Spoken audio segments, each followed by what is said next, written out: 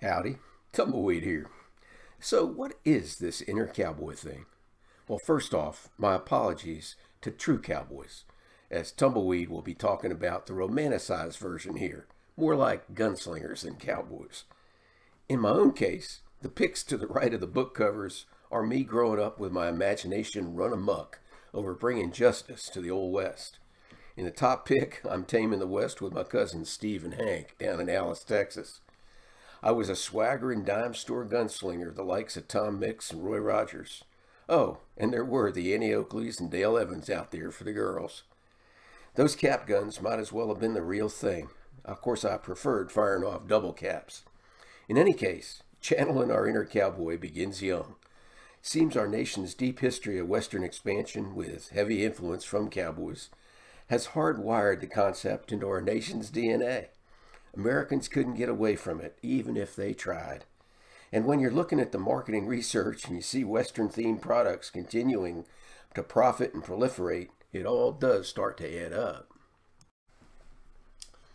The Old West calls us to something greater than ourselves.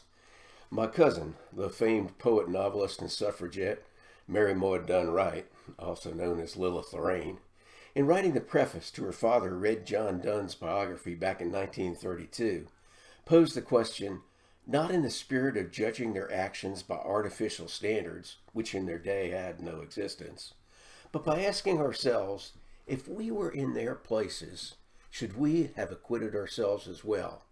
And by putting to ourselves the still more potent question how well would we have kept the birthright that they have given us?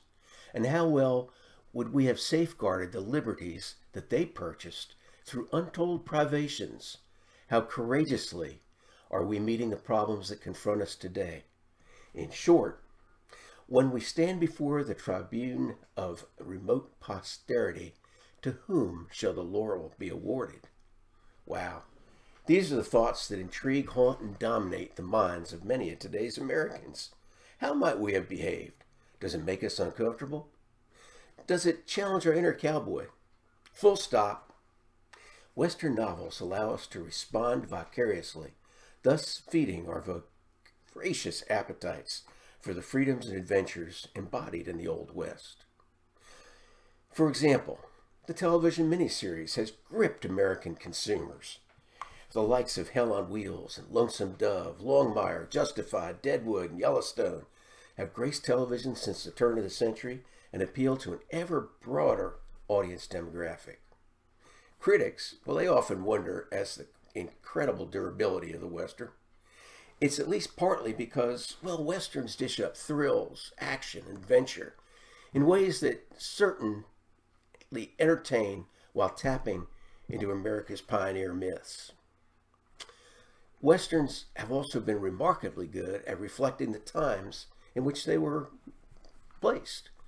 There's literally no other genre that reflects their era as well for the determination, courage, passion, and adventure in which they are set. Westerns are effectively a magnifying glass on America's heritage.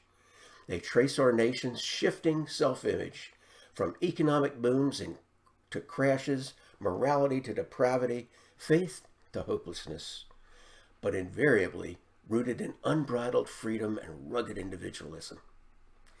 Shucks.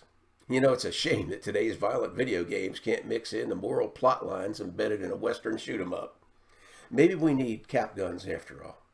Just, just saying. Thus far, y'all have been treated to three Tumbleweed sagas featuring Texas Ranger Luke Dunn, Nueces Justice, Nueces Reprise, and Nueces Deceit. A fourth saga, Nueces Blood, will be released in April, and more are coming.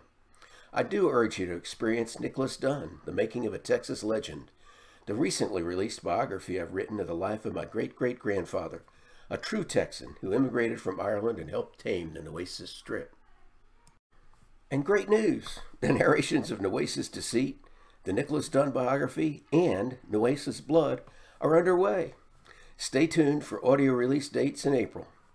My books from Defiance Press and Publishing are available online, in print audio or ebook from Amazon, Barnes & Noble, and directly from DefiancePress.com. As spring approaches, do curl up on a comfy bench under a shady tree and let your imagination come alive with my books. Enjoy a cup of coffee, or even sip a glass of wine, or maybe something more potent. Get inspired. Channel your inner cowboy or cowgirl. And especially, you all do take care.